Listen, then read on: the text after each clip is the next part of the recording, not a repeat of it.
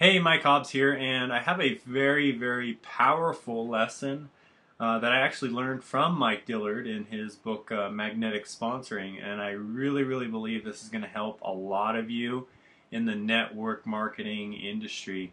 Now, what he talks about in this chapter of the book is the secret of becoming a professional, and the real success comes when you leave emotion out of it. Okay, uh, typically in network marketing, you know, uh, people are on an emotional roller coaster.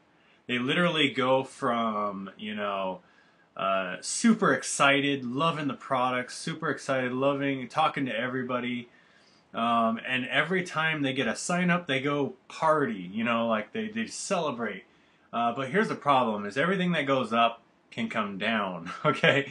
So, you know, then all of a sudden they get a no, and they're like, oh man, they're devastated. They just want to quit. Um, so, so there's an emotional roller coaster when you're first getting into a business. Now, to become a true professional in this industry, you have got to leave emotion out, okay? And it really talks about this in this chapter. Basically, you know, you don't want to have any emotion, whether someone joins you or someone tells you no, or your top earner quits, or you made $10,000 this week. You're emotional. You know, you shouldn't have any type of difference in emotion. Okay, it should be all purely uh, you know, focus driven, know your goals, know your vision, know where you're going, uh, because the the ride is going to be bumpy. Okay, the ride will be bumpy. You will get no's, you will get yeses, you will get signups, you will get, uh, you know, drastic things. Your top earners quitting, you name it, it will happen.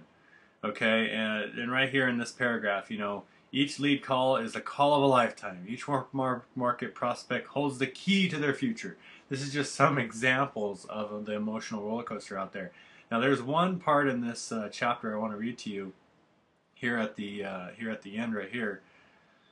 Um, the irate calls from customers who forgot their their auto ship. Has that ever happened to you? Just another day at the office. The no shows for follow ups. Just another day at the office. The new guy who talks big and then doesn't do jack. Just another day at the office. The new distributor joining with 100 reps from his old company. Just another day at the office. If you can treat your business like that, you will be a true professional.